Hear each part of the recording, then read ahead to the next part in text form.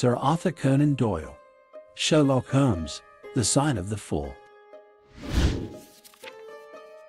Chapter 1 The Science of Deduction. One afternoon, Holmes and I were chatting in our living room. When he didn't have a puzzle to solve, he often seemed unhappy. That day, he was playing with his pipe and saying he was bored. I picked up a small book from his lap, hoping to talk about something else. What do you think of my writing, Holmes? Did you read my story on A Study in Scarlet? I did take a look, he said, but I can't say well done. Solving puzzles is about finding out facts, and you've added too many feelings. I felt hurt by his words. I had written it to make him happy. My writings are being turned into French, he said, not noticing my sadness. Your writings? Ah, didn't you know? He said, laughing. I've written a few short things. One talks about over a hundred types of tobacco and another one about tracking footprints. But am probably making you bored with my hobbies? Not at all, I said, really interested. Can I test your abilities? I'd be happy to solve any puzzle you give me, Holmes answered. I remember you saying that a person leaves signs on things they use often. I started. I took out a watch from my pocket. It wasn't new, it was mine not long ago. Could you try to understand the old owner's personality by looking at this watch? I gave him the watch, feeling a little funny. I knew this job was impossible, and I hoped to show him that he wasn't always right. He looked at the watch closely, even using his small glass. He gave it back to me with a sad look. There's not much to use, he said. The watch has been cleaned recently. Yes, you're right, I said, thinking he had failed. But I did learn something, he said, looking thoughtfully at the ceiling. The watch was your older brother's, who got it from your father. I nodded. You understood that from the age. W. On the back? Exactly. The W probably stands for your name. The watch is almost 50 years old, and these letters are just as old. So, it was likely made for the older generation. It's common for jewelry to be passed to the eldest son. Your father died a long time ago, so it's likely been with your older brother since. You're right, I admitted. Anything more? He was not careful. He had chances in life but wasted them. He mostly lived without money, with short times of having money. He started drinking and finally died. That's all I can guess. I was shocked. Holmes, I can't believe you. You've been asking about my late brother, and now you're pretending to know this all from his old watch. My dear friend, he said gently, I'm sorry if I hurt you. But I didn't even know you had a brother until you showed me this watch. Then how did you know all this? You're exactly right. Did you just guess? No, I don't guess. You find it strange because you don't follow my thinking or see the small signs that guide my guessing. Firstly, the watch case is full of marks. It means your brother kept hard items, like coins or keys, in the same pocket. A man who treats a costly watch like that must be careless. Furthermore, there are several numbers inside the case, suggesting he often had money problems lastly. The worn-out hole for the key shows signs of heavy drinking. All of these signs together give a clear picture. It's clear now, I agreed. I'm sorry for not trusting you. It's a pity you don't have a puzzle to solve right now. Are you enjoying this story? Let us know by tapping the like button. Thank you. Chapter 2 The Statement of the Case The next morning, we were disturbed by a loud knock. Our housekeeper walked in with a visitor's card. A young lady wishes to see you, sir, she told Holmes. Miss Mary Morstan, He read from the card and asked the lady to join us. Miss Morstan entered with confidence. She was a young blonde lady, dressed neatly. Her simple beige dress and a hat with one white feather looked good on her. She had a lovely face with friendly blue eyes. But underneath her calm look, I could tell she was worried. I need your help, Mr. Holmes, she began, her voice slightly shaky. Holmes looked eager. Please share everything, he said. Feeling a bit awkward, I tried to leave. But to my surprise, she asked me to stay. My dad was in the Indian Army, she started. He sent me back to Britain when I was a child. My mom was no more, and I had no family here. I stayed in a school in Edinburgh until I was 17. In 1878, my dad returned to England. He sent me a message saying he was at the Langham Hotel in London. I hurried there, only to find he was missing. I waited and called the police, but he never came back. The date? Holmes asked, taking down notes. He went missing on December 3, 1878, about 10 years ago. His belongings? Left at the hotel. There were some books, clothes, and strange items from the Andaman Islands. He used to work there with the prisoners. Any friends in London? Only one that I know, Major Sholto, from his regiment. He had retired earlier and lived in Upper Norwood. He didn't even know my dad was back. An interesting case, thought Holmes. But there's more, she said. In May 1882, an advert appeared in the Times newspaper asking for my address. That day, I received a pearl in the mail. And every year, I receive a similar pearl on the same day. This morning, I got a letter. It asked me to meet at the Lyceum Theatre at 7 o'clock and told me to bring two friends, but not the police. It claimed that I have been wronged and promised to make things right. What a puzzle. Miss Morstan, what will you do? I need your advice on this.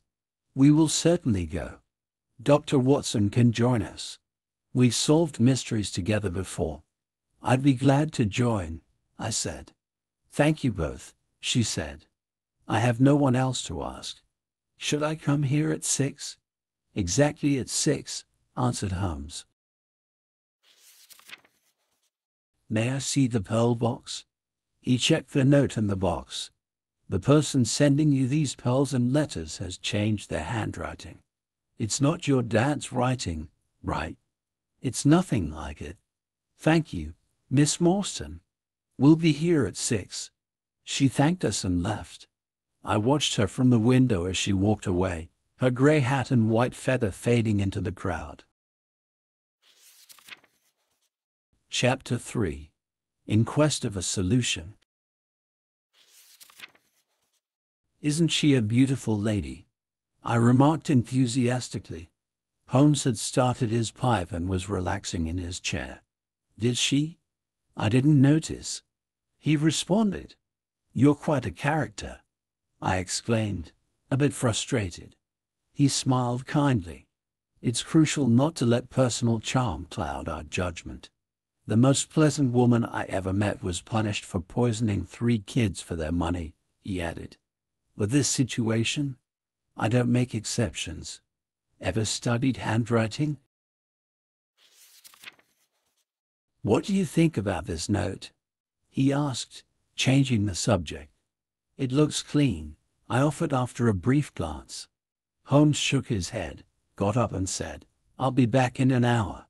I acknowledged him, but my thoughts were on our guest, her smile, her voice, the peculiar mystery around her. She must be 27 now if she was 17 when her father vanished.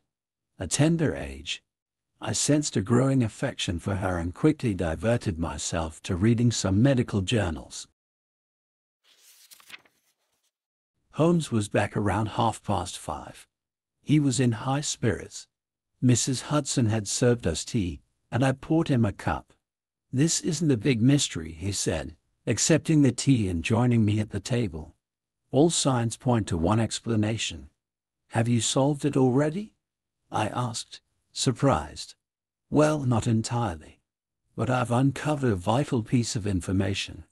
I went through the Times old editions and discovered that Major Sholto died on April 28, 1882. I might be missing something, Holmes, but I can't see what this implies. Holmes looked surprised. Really? Consider this. Captain Morstan goes missing. The only person he could have visited in London was Major Sholto, who denied seeing him. Four years later, Sholto dies. Within a week, Captain Morstan's daughter starts receiving valuable gifts annually. Now, she receives a letter calling her a wronged woman. What wrong could it be? Her father's disappearance? And why would these gifts start right after Sholto's death unless his knows something about the mystery and wants to correct it? That's a strange way to right a wrong, I remarked. And why would he write a letter now and not six years ago? And what justice? Could her father still be alive?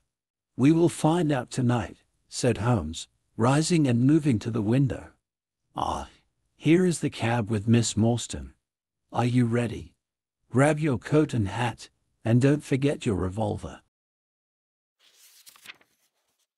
I picked up my things and followed Holmes. Miss Morstan was dressed in a dark cloak. Her face was pale but composed. She must have felt some anxiety, but she hid it well. Major Sholto was close to my father, she replied to Holmes' question. Dad often mentioned him in his letters. They both served together in the Andaman Islands. She then handed Holmes a curious paper from her bag, which seemed to be a layout of a large building with many corridors and bore a strange mark.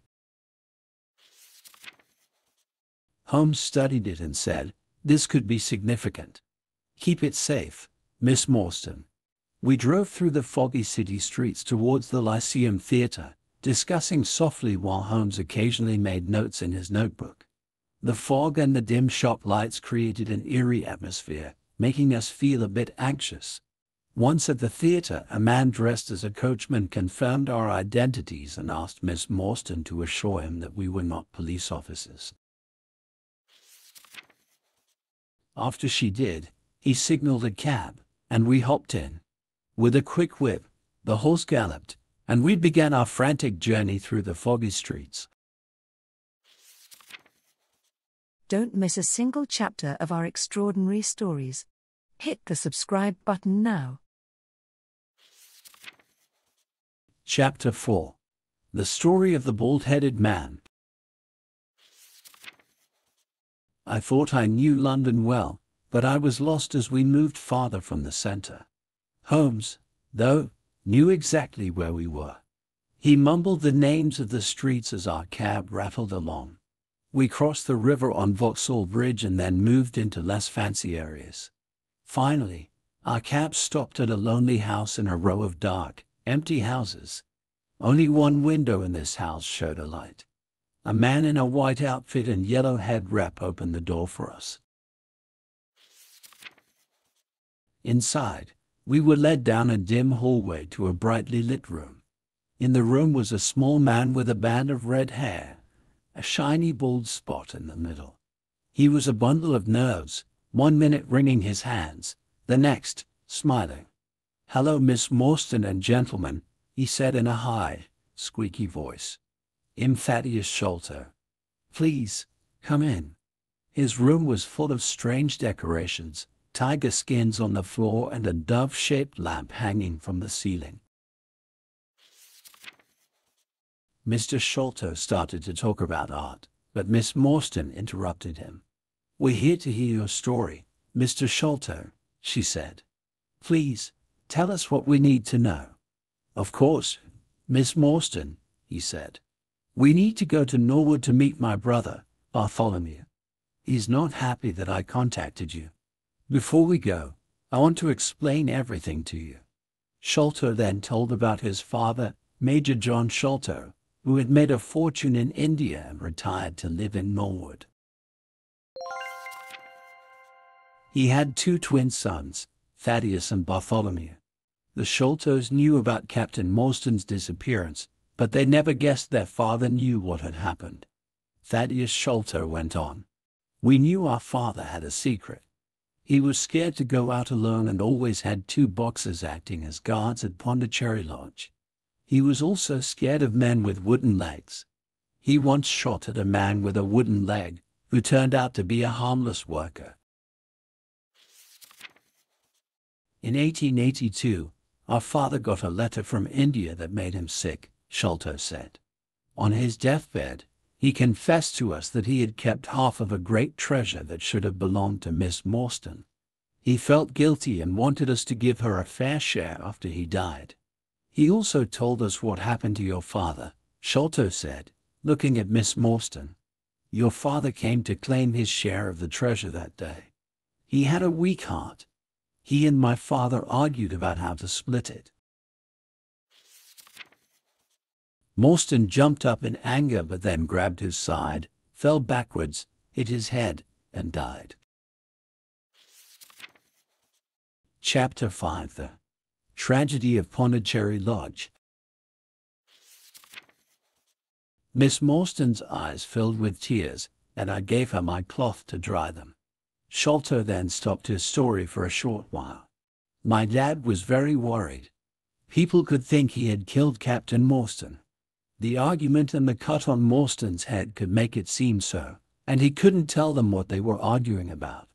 His servant walked in just then and, thinking my dad was guilty, offered to get rid of the body. When Dad finished telling us this terrible story, he started to tell us where the treasure was hidden. But suddenly, he looked very scared. Keep him out. Please, keep him out. He shouted. We both turned to look at the window and saw a face pressed against the glass. It was a face covered in hair, with crazy eyes and a very mean expression. My brother and I ran to the window, but the man had disappeared.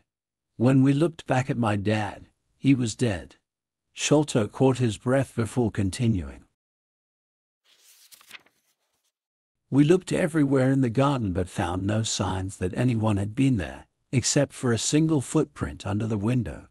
The next day, we saw that someone had forced their way into my dad's room, but strangely, nothing had been taken. A mysterious note was pinned to his chest that read, The Sign of the Four. It didn't make any sense to us, and it's still a puzzle. My brother and I were excited about the treasure, Sholto continued. We searched everywhere in the garden for months, but we couldn't find it. Just as Dad was about to tell us where it was, he died.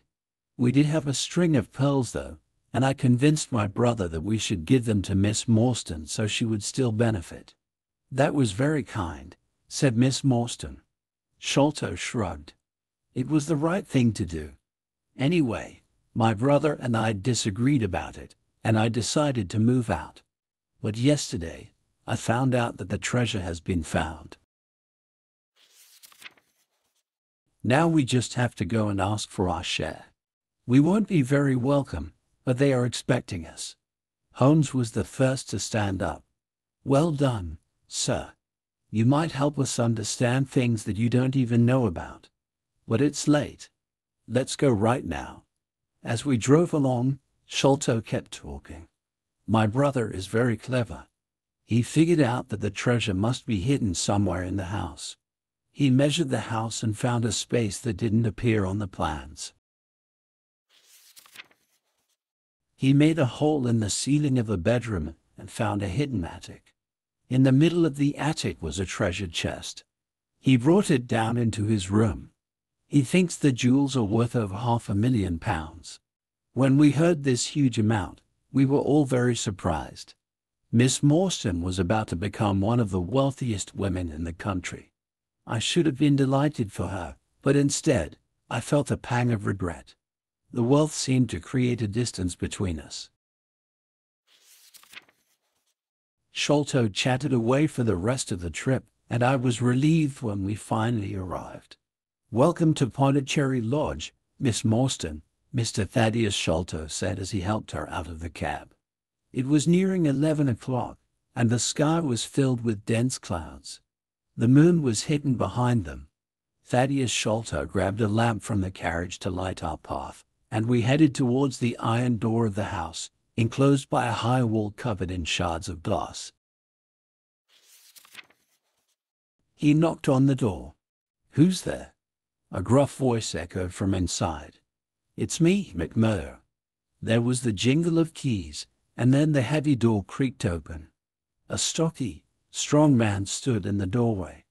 I can let you in, but I haven't been told about these other folks, he said gruffly. But I informed my brother last night that I would bring friends. I haven't been told. The young lady can't be out here at this hour. Apologies, Mr. Thaddeus, the man grumbled. I only do what I'm told. I don't know your friends. But you do know me. McMurdo, Holmes interjected.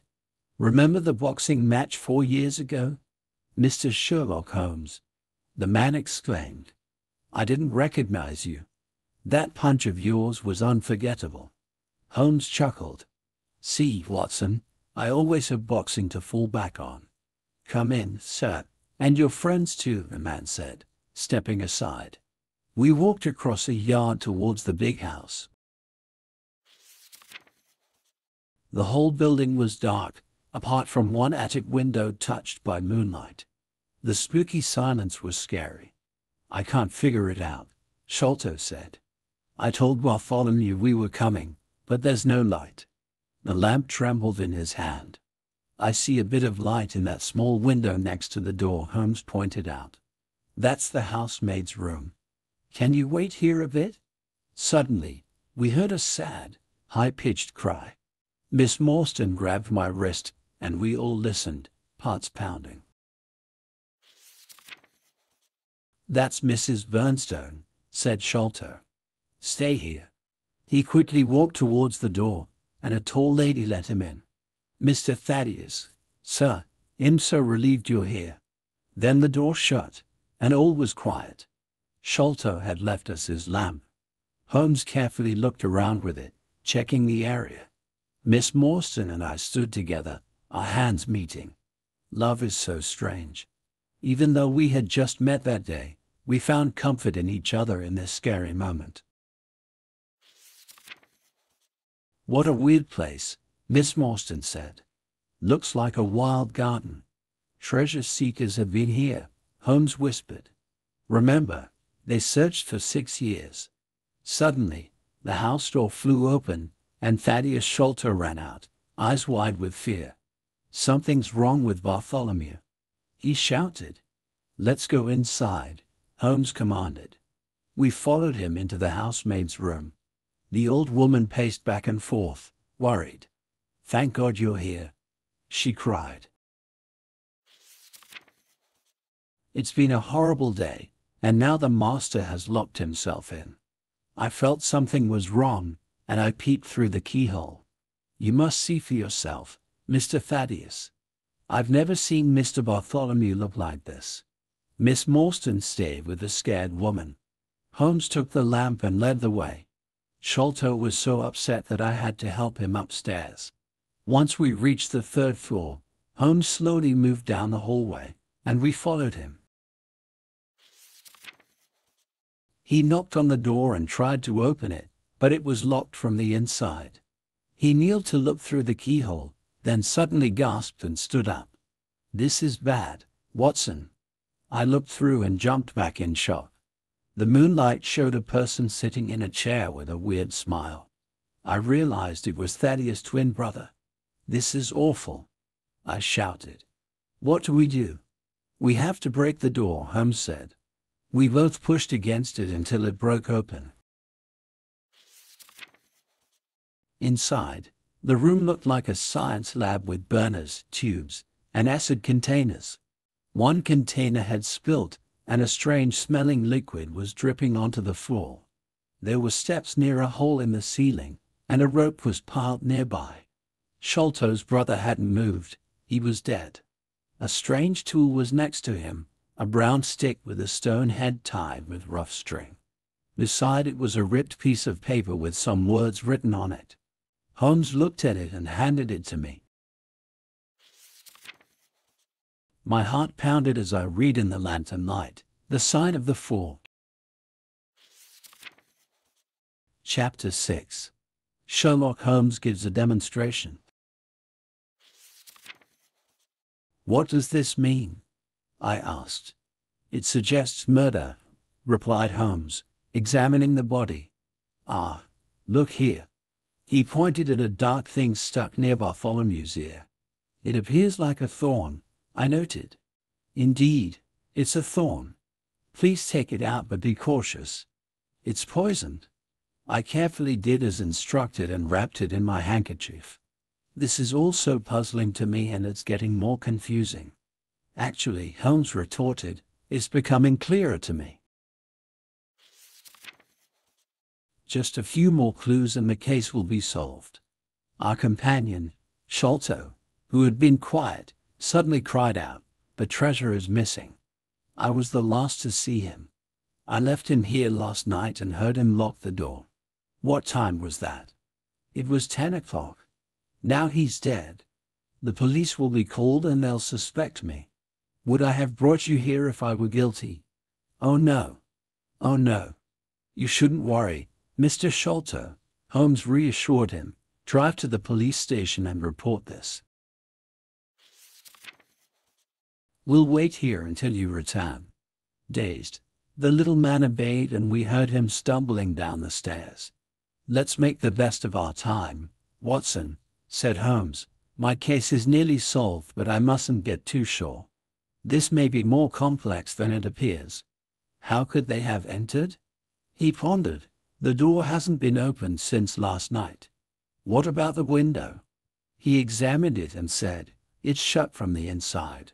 The window is solid. Look, someone has come in through the window. Here's a footprint on the sill. And here's a round, muddy mark, and here again on the floor and again by the table. That's not a footprint, I said, puzzled. It's something more valuable. It's the mark of a wooden leg. The wooden-legged man? Exactly. But there's also someone else, someone very able and agile. Could you climb that wall, doctor? He asked. We were high above the ground, and I couldn't see any way of climbing the brickwork. It's absolutely impossible. But if you had a friend up here who lowered you a good strong rope, like that one there on the floor, then you could climb up, wooden leg and all. You would leave the same way, and your friend would close the window and leave as he came. Also, our wooden-legged friend was not a sailor. My magnifying glass shows blood on the rope from his rapid descent, which hurt his hands. What about this mysterious friend? I asked. How did he enter? Did he come down the chimney? Holmes shook his head. It's too small. As I always say, whatever remains, however unlikely, must be the truth when you have removed the impossible. What else is there? He came through the hole in the roof. I exclaimed. Exactly. If you could hold the lamp for me, we'll continue our investigation in the room above. After climbing into the attic, he held the lamp while I followed. Upon further examination, Holmes found a trapdoor leading onto the roof, confirming the entrance of our mysterious visitor. Moreover, he discovered the prints of a bare foot much smaller than a man's. A child has done this? I asked, puzzled. Irritation flashed across Holmes' face. Let's go down. I'll explain my theory about the footprints, he said. We returned to the bedroom, and Holmes began examining the room meticulously. While we were talking, we heard heavy steps and loud voices from below. Holmes promptly asked me to examine the strange expression on the victim's face. Death by a potent poison, I said. That's why I looked for a clue immediately when I entered the room. Do you have that thorn? He asked. I presented the thorn. It was long, sharp, and had some sticky substance on the tip. Is it an English thorn? Holmes asked. already knowing my answer. No, it's not, I replied. Just then, a burly man with grey hair walked heavily into the room. This was Athelney Jones, a police officer. He boomed, Why, the house is as busy as a rabbit warren. I believe you know me, Mr. Athelney Jones, Holmes said quietly. Indeed, I do. You helped us with the Bishopsgate jewelry case. But you must admit it was more luck than guidance. It was straightforward reasoning. Jones then turned his attention to the scene of the crime. His quick analysis led him to suspect Thaddeus Sholto of the murder. However, Holmes disagreed, introducing the name of the suspect, Jonathan Small, a middle-aged, sunburned man with a wooden leg. And the other man? sneered Jones. Hopefully, I'll be able to introduce you to them both soon. Holmes asked me to escort Miss Morstan home and fetch a dog named Toby, whose sense of smell would be invaluable to our investigation. As I left, Holmes said he would see what he could learn from Mrs. Bernstone and the servant.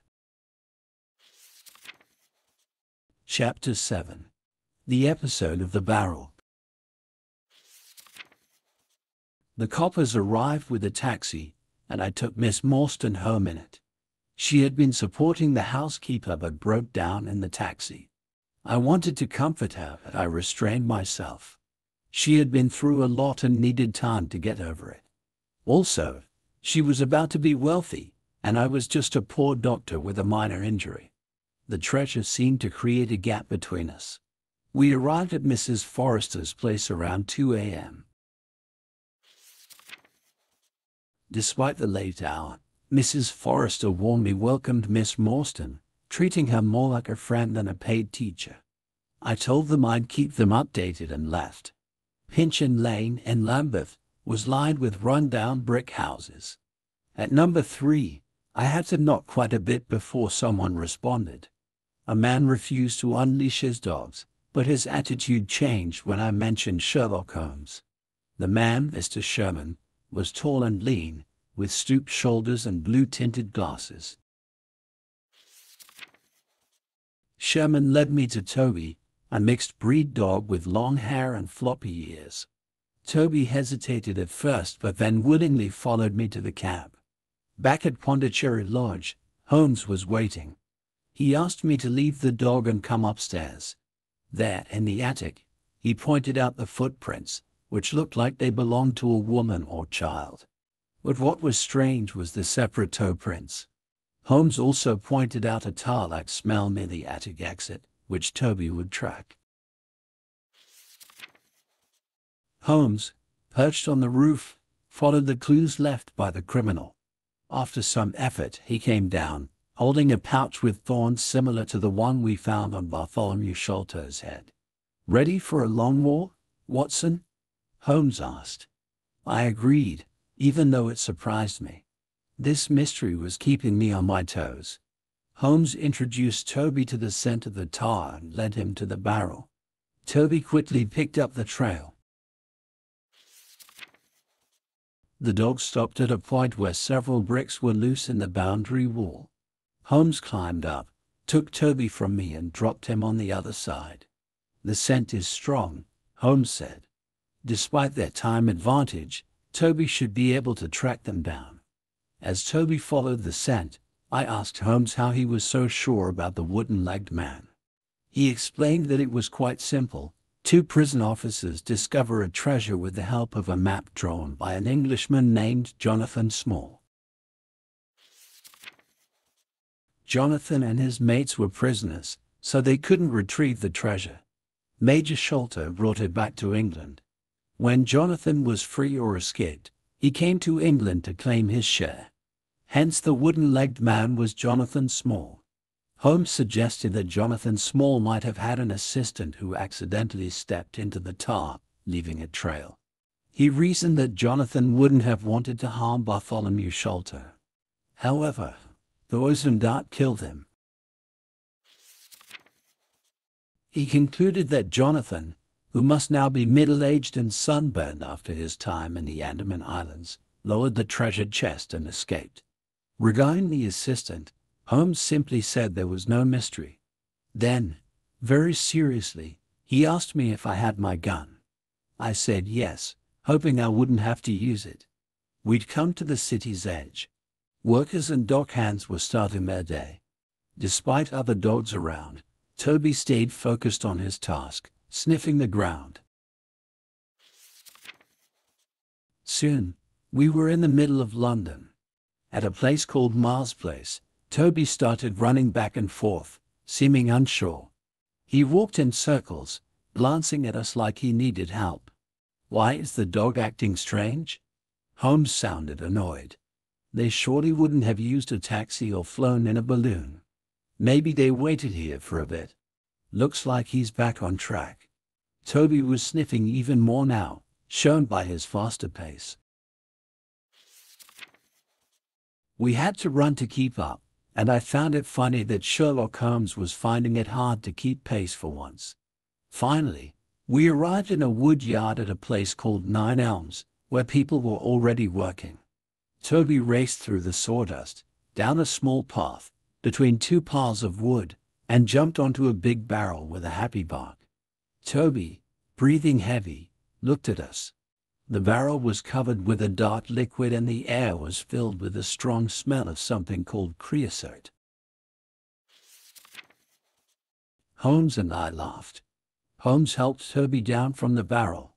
Thinking about how much creosote is moved around London every day, it's not surprising our trail got mixed up. It seems what confused Toby at Miles' place were two different paths, I said. We took Toby back to the place where he seemed unsure. He sniffed around a bit before running off in a new direction. We should make sure he doesn't lead us to where the creosote barrel came from, I said. I've thought about that. But look that he's staying on the sidewalk. The barrel passed along the road. We're on the correct path again. We moved towards the river.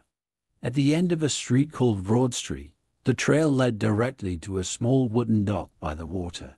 Toby stood there, making small noises, looking out at the water. We've hit a problem, said Holmes. They must have used a boat from here. Close by, a small house displayed a sign, Mordecai Smith, boats for rent by the hour or day. Another sign said a steam launch was available. These people are smarter than I thought, Holmes sighed. Just then, the door opened, and a young boy ran out, followed by a red-faced woman holding a big sponge. Come back and clean up, Jack. Your dad will be upset if he sees you this dirty. What an active boy, said Holmes. Now, Jack, is there something you'd like? The boy thought a bit. A coin, he said. Here you go. Catch. What a great child, Mrs. Smith. Thank you, sir. He's a lot of work, especially when my husband's not here. Gone, is he? Holmes sounded disappointed.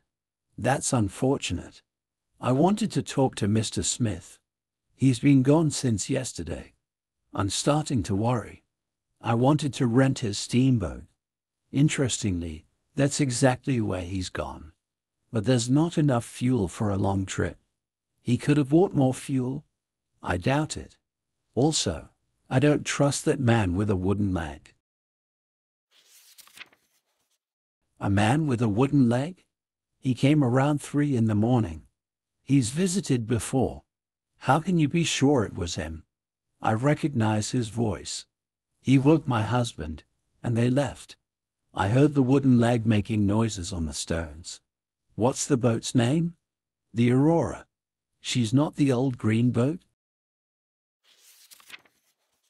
No, she's been freshly painted, black with two red lines. The chimney is black with a white band. Thank you. If I see Mr. Smith, I'll tell him you're worried. Good morning, Mrs. Smith. Holmes and I then crossed the river on a ferry. Let's rest and get ready for tonight. We'll keep Toby. He might still be of use. Taxi. Stop at a post office, please. We stopped at a post office on Great Peter Street, And Holmes sent a telegram. Guess who that was for? He asked. I have no idea. Remember the kids from Baker Street from the Jefferson Hope case? I nodded, smiling. This is exactly the type of case where they can help. That telegram was to a kid named Wiggins. I expect he and his friends will join us after breakfast. It was nearly nine in the morning now, so I was tired, and my leg was hurting. My only interest in the case now was the treasure. Part of it belonged to Miss Morstan, and I was ready to do whatever it took to recover it for her, even if that meant she would forever be out of my reach. Chapter 8 The Baker Street Irregulars A good wash and new clothes made me feel much better. I went downstairs and found Holmes making our breakfast. Look at this, he said, giving me a newspaper and laughing. The paper had a short story about a mystery where a man named Bartholomew Sholto was found dead. It said that his house had been robbed and that Sherlock Holmes and I were there when it was found. A detective named Mr. Athelney Jones had quickly arrested some people in the house, including the dead man's brother, Thaddeus. Holmes seemed amused by the whole thing. I said that we were lucky not to be arrested ourselves. Holmes agreed and hoped Jones wouldn't push his luck too far. Just then, our doorbell rang loudly, and I could hear Mrs. Hudson's voice filled with surprise. Holmes, I think they might be here for us, I said. Holmes told me it was actually his unofficial team, the Baker Street Irregulars, a group of street kids he often used. A bunch of kids ran in, lined up and faced us. The oldest one stepped forward. We got your message, sir. Brought everyone as fast as I could. Holmes paid them and gave them a task to find a boat named the Aurora owned by a man named Mordecai Smith. He described the boat and told one of the kids to watch Mordecai Smith's place. The rest were to search the riverbanks. He promised them a coin if they found the boat. Holmes believed in their abilities. He expected news by night. He told me he wasn't tired, but that he needed to think about our case. He talked about a man with a wooden leg and another odd character. He grabbed a book and started to read about a tribe that used blowpipes. We wondered how these two odd people could have met. Holmes suggested I take a nap while he thought about the case. I lay on the sofa while he played a calming tune on his violin. His music sent me off to sleep, and I dreamt of Mary Morstan. When I woke up, Holmes was still in his chair, reading. I asked about any news, but he said there was none yet. He suggested I visit Mrs. Forrester and Miss Morstan. I did as he suggested, visiting Mrs. Forrester and Miss Morstan. I told them about Mr. Sholto's death, but didn't tell them all the bad details. Mrs. Forrester and Miss Morstan were both very curious about the story. Miss Morstan didn't seem interested in the treasure, though. She seemed more worried about Thaddeus Sholto. I got back to Baker Street in the evening. Mrs. Hudson told me that Holmes had been acting strangely, walking up and down. I reassured her, saying it was just a small problem on his mind. I could hear Holmes walking around throughout the night. The next morning at breakfast, he looked tired and told me that he hadn't slept at all. He was frustrated with the lack of news about the boat. We spent the day waiting, but there was no news. The papers said that the investigation would take place the next day. Chapter 9 A Break in the Chain One early morning, I was startled awake to see Holmes by my side, looking like a sailor. He had on a heavy warm jacket and a rough red scarf. I'm going to explore down the river, Watson. Can you stay here and look after any messages? He asked. I'm not sure where I'll go, but I'll try to come back soon. Sure, Holmes, I responded. Eating my breakfast, I read some new info in the Standard paper. It reported that the Upper Norwood puzzle might be trickier than we thought. The police now thought that Thaddeus Sholto and his housekeeper didn't do anything wrong, so they let them go. The paper hinted that they might arrest more people soon. I started to wonder about this new hint. Then, I saw a news report about a man named Mordecai Smith and his son Jim who were gone. They had left on a boat named Aurora. A reward was being given to anyone who knew where they were. I realized Holmes had set this up. It was clever, as the people Holmes was after would think it was a worried wife looking for her husband. Time seemed to move slowly. Every noise made me think Holmes was back. I tried to read, but my mind kept drifting. Then our doorbell rang loudly, and a man named Mr. Athelney Jones walked in. He looked different, more modest and sorry than before. Hi, sir, he said. Is Mr. Sherlock Holmes here? No, and I don't know when he'll be back, I answered. Do you want to wait? Can I get you a drink? Well, just a small one. You see, I've had to change my mind about the Norwood case. Sholto proved he wasn't alone. I'm worried about how people see me, and I could use some help. We all need help sometimes, I told him. Then, we heard heavy steps on the stairs, and a man who looked old and tired came in. He asked for Holmes. When I told him Holmes wasn't here, he said he knew something about Mordecai Smith's boat, but he would only tell Holmes. Jones tried to stop him from leaving, telling him he must stay until Holmes came back. Suddenly, Holmes showed up, revealing he was the old man all along. I've been working undercover all day, Holmes said.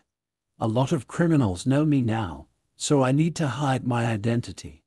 He then asked Jones to arrange for a fast police boat by 7 o'clock in the evening.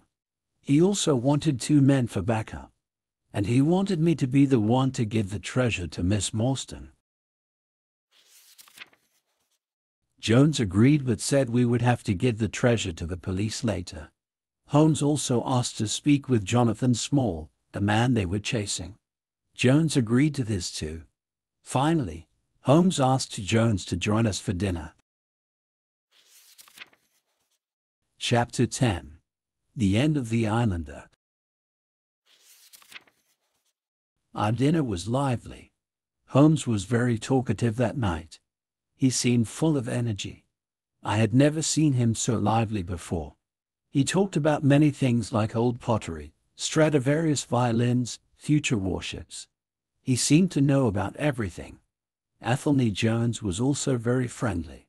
I was happy because we were almost done with our work. After dinner, Holmes checked the time, filled three glasses with sweet wine, and made a toast to our success. He said it was time for us to leave. He told me to bring my gun, and he would bring his. He said we should be ready for anything. A taxi was already waiting for us. Just after seven, we got to Westminster Wharf, where our boat was waiting. Holmes looked at it carefully. Does this boat look like a police boat? He asked. Yes, it has a green light on the side, someone answered. Then remove it. After the light was removed, we got on the boat. Holmes, Jones and I sat at the back. There was one man steering the boat, one looking after the engines, and two strong police inspectors at the front. Where are we going? Jones asked. To the tower. Tell them to stop near Jacobson's yard. Holmes was pleased as we went faster than a riverboat. We should be able to catch anything on the river, he said. I asked him how he found the Aurora. He told us how he figured out that Jonathan Small and his helper must have hidden their boat but kept it ready for a quick escape. So, he dressed up as a sailor and asked at all the yards along the river. At Jacobson's yard, he found out the Aurora had been brought there for some unnecessary repairs. Then Mordecai Smith showed up, acting drunk and loudly demanding his boat at eight that night. He seemed to have a lot of money. Holmes followed him for a bit, then went back to the yard and had one of his men keep watch over the Aurora. Jones suggested we should have arrested them at the yard, but Holmes said that would have been a mistake. Small was smart. He would have sent someone to check first and if something seemed off, he would have waited another week before making a move. As we were going past the city, the sun was just setting over St. Paul's. It was twilight when we reached the tower. That's Jacobson's yard, said Holmes, pointing to a bunch of masts and rigging on the south bank. He took out binoculars and looked at the shore. I can see my man on watch, he said, but no sign of the handkerchief. Suddenly, he became alert. Do I see a handkerchief? Isn't that a white flutter over there? Yes, that's your man. I shouted. I can see him. And there's the Aurora. Holmes exclaimed. And she's moving fast. Full speed ahead. Engineer, Go after that boat with the yellow light. I'll be very upset if we can't catch her. The Aurora had slipped out of the yard and was already moving fast. Jones looked worried. She's very fast, he said. I don't think we can catch her. We must catch her. Holmes cried. We were moving very fast too. We passed other boats quickly. People were shouting at us from the dark. But the Aurora kept going fast, and we kept following her. We're getting closer, said Jones. I think so too, I said. We'll catch up with her soon. Jones turned a bright light on her, and we could see people on her deck. One man was sitting at the back with something black between his knees. Next to him was a dark mass. A boy was steering the boat, and we could see old Smith. Slowly, we started to catch up. In the quiet night, we could hear their boat's engines. We were very close now. Jones shouted at them to stop. Hearing him, the man at the back stood up and shook his fists at us. He was shouting angrily. He was a strong man, and I could see that from his right thigh down, he had a wooden leg. Suddenly, the man took out a short piece of wood from under his blanket and put it to his lips. We need to be ready with our guns, said Holmes. If he raises his hand, shoot. We fired our guns. The man spun around, threw up his hands, and fell sideways into the river. I caught one glimpse of his furious eyes before they disappeared in the white water.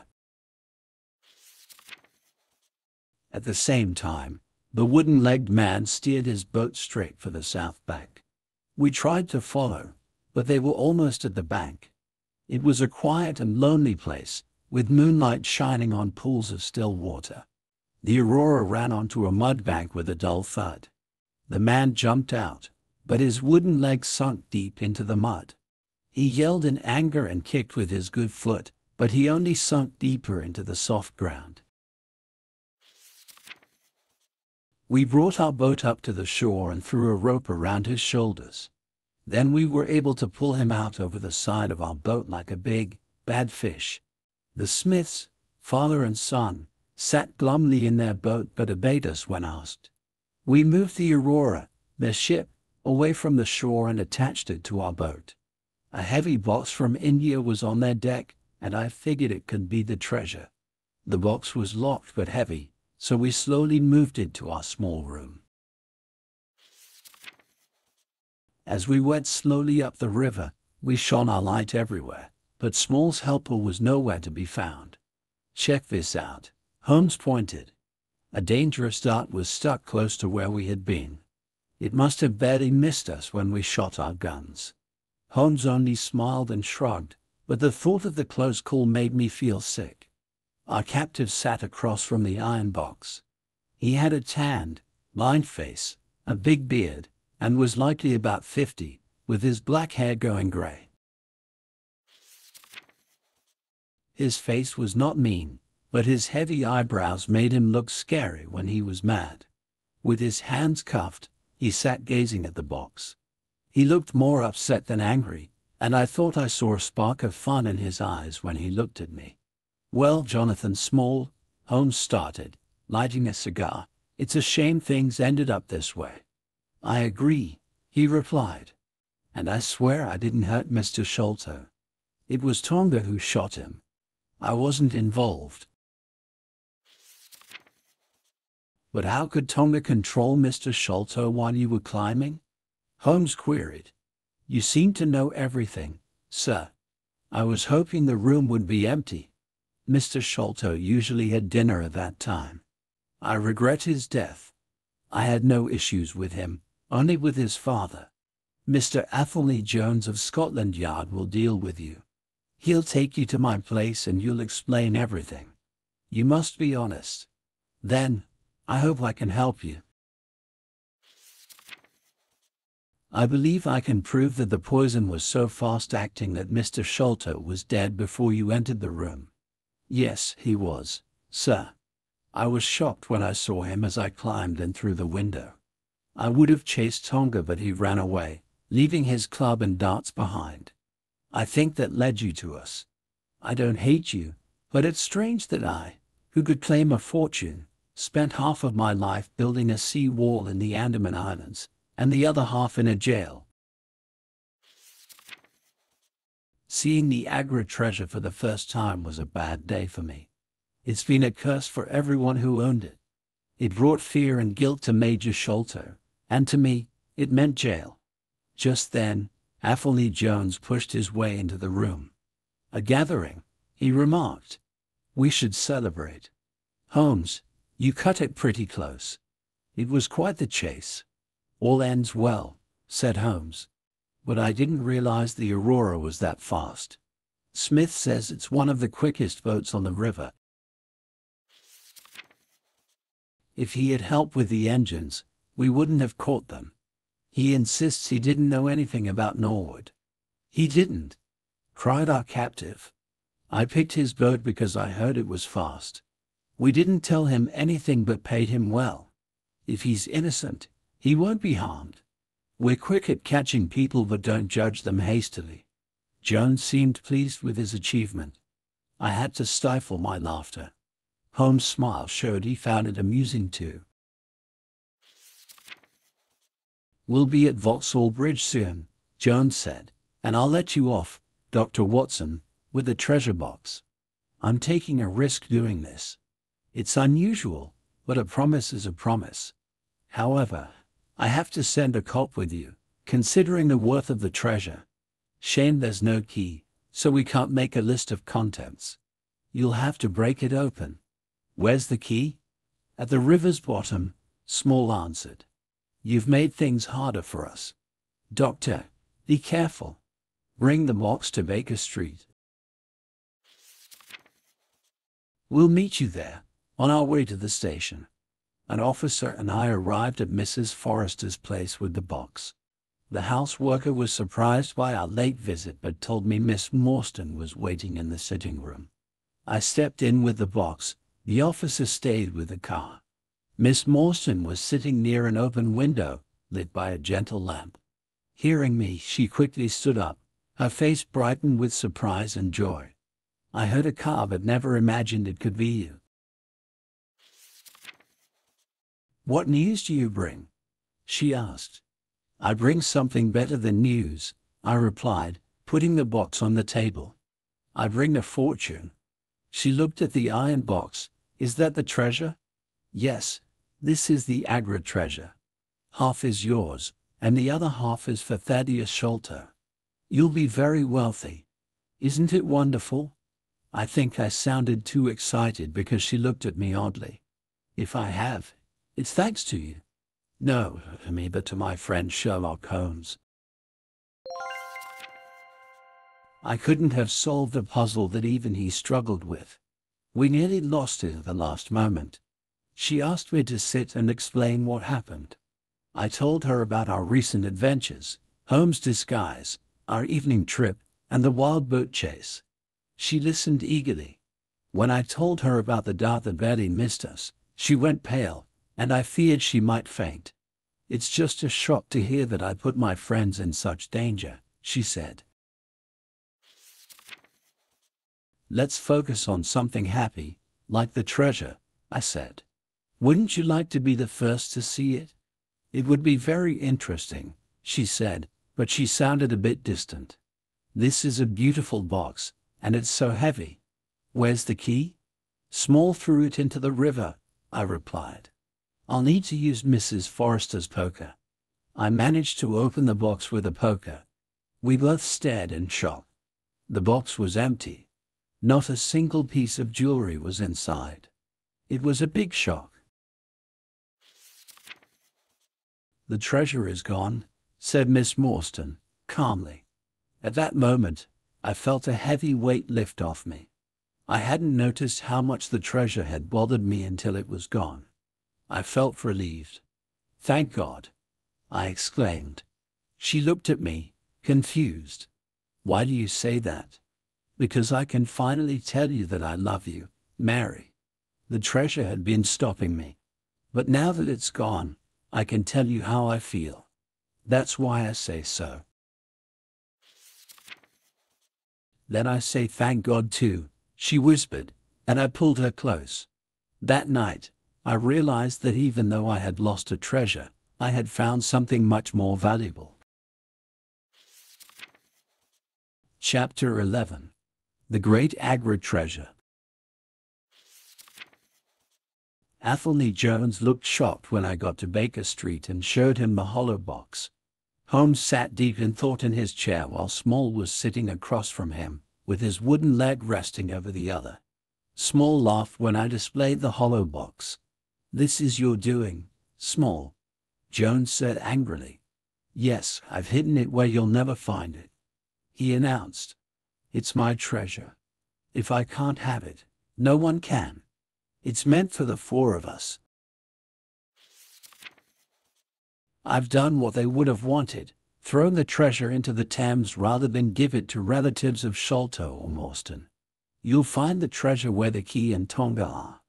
I tossed it into the river when I saw you were close to catching us. It would have been easier to throw the whole box, Jones suggested. But it would have been easier for you to find then, small shot back. The treasure is scattered over miles. Small, you've made a big mistake, Jones said seriously.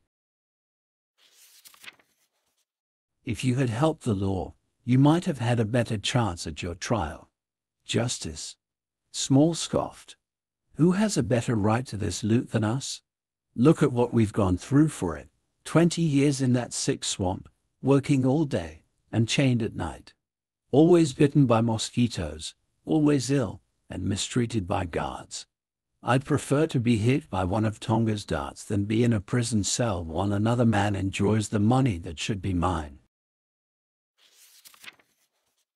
Holmes said calmly, We don't know your story. We can't decide if justice was on your side.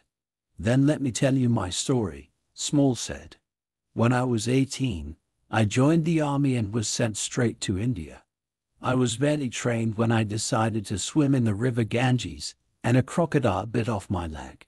I spent five months in the hospital and was sent away from the army with this wooden stump.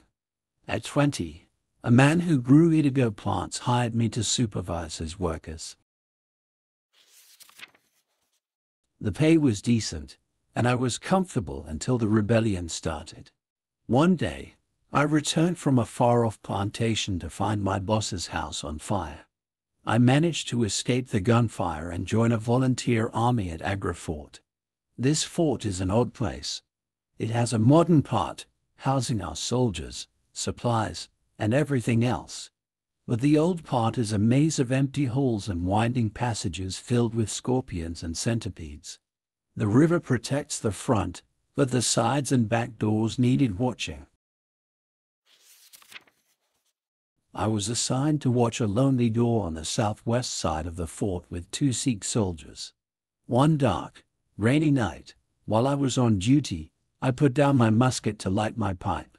Immediately, the two Sikhs attacked me. One pointed my musket at my head, the other held a knife to my throat, threatening to kill me if I moved.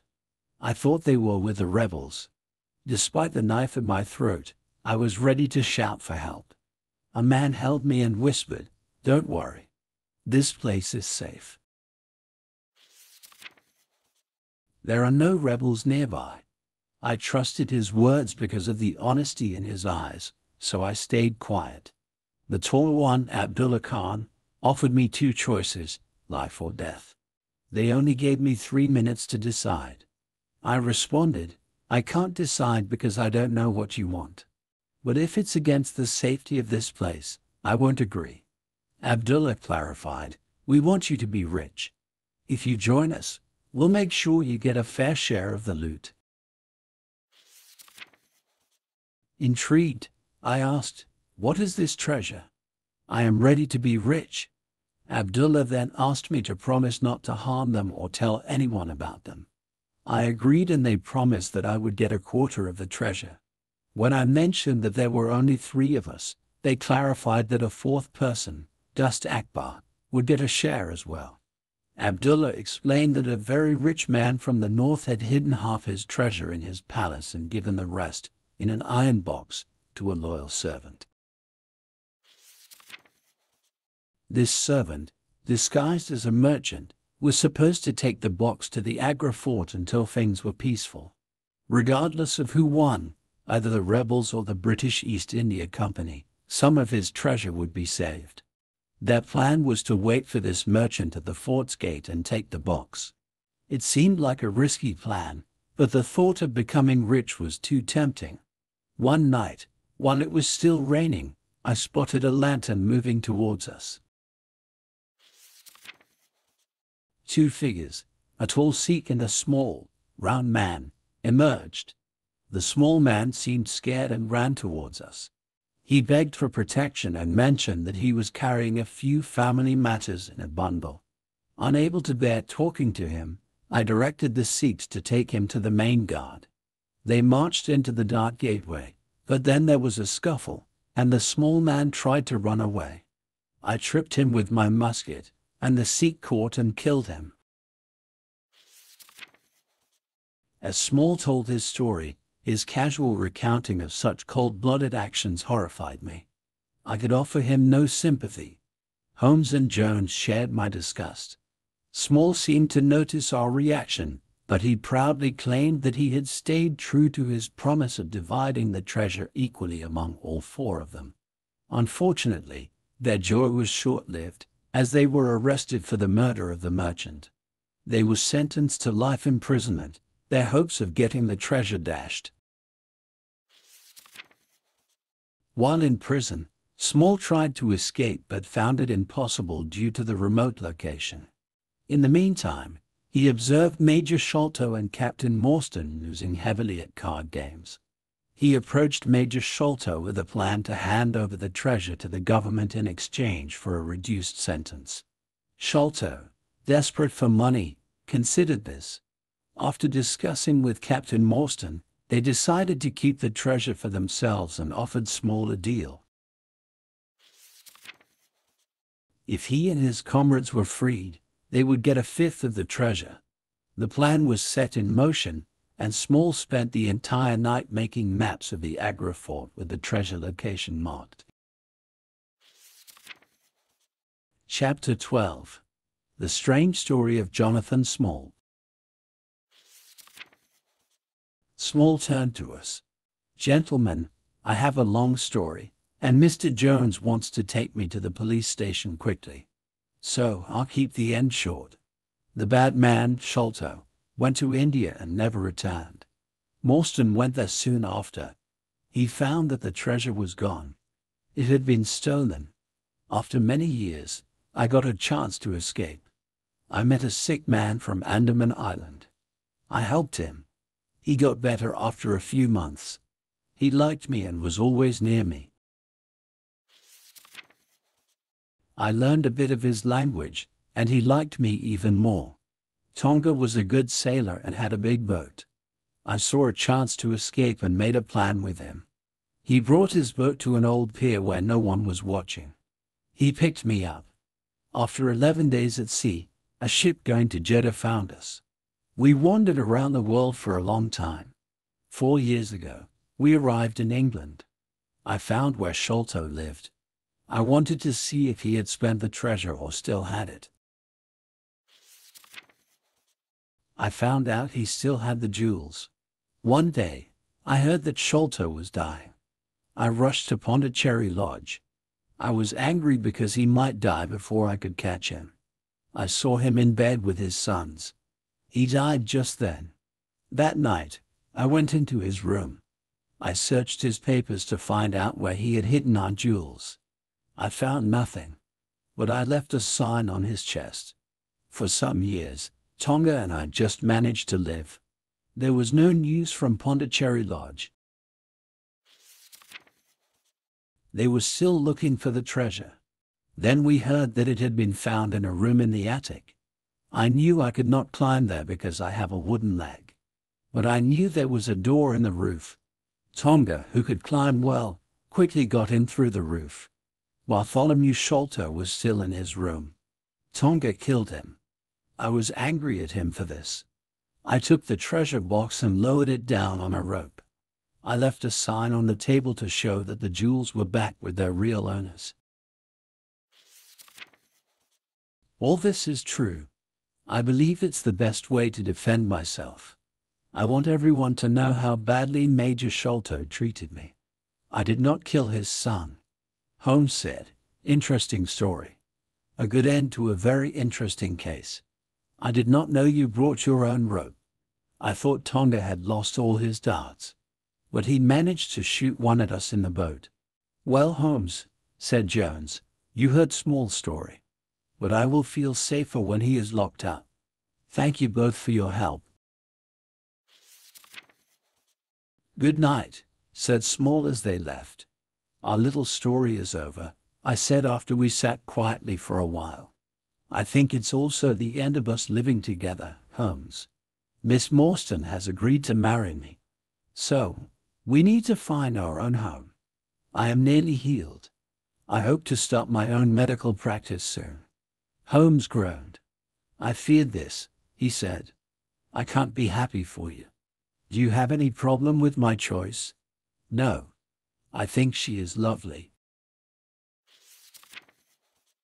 But love makes people emotional, and it is against reason. I will never marry. I don't want to lose my judgment. I hope my judgment will stay good. But you look tired. Yes, I'll be tired for a week. It's strange, I said, that you are sometimes lazy and sometimes full of energy. Yes, he answered, closing his eyes. I can be very lazy but also very energetic. Heard that Small had a helper in the house. It must have been the butler. Jones caught one real thief because of all his arrests. It's not fair, I said. You did all the work, I get a wife, and Jones gets the credit. What do you get? For me, said Holmes, I get the joy of solving a big mystery. The end. Have you enjoyed this story? Like and subscribe to our channel now to unlock fresh tales and level up your English skills.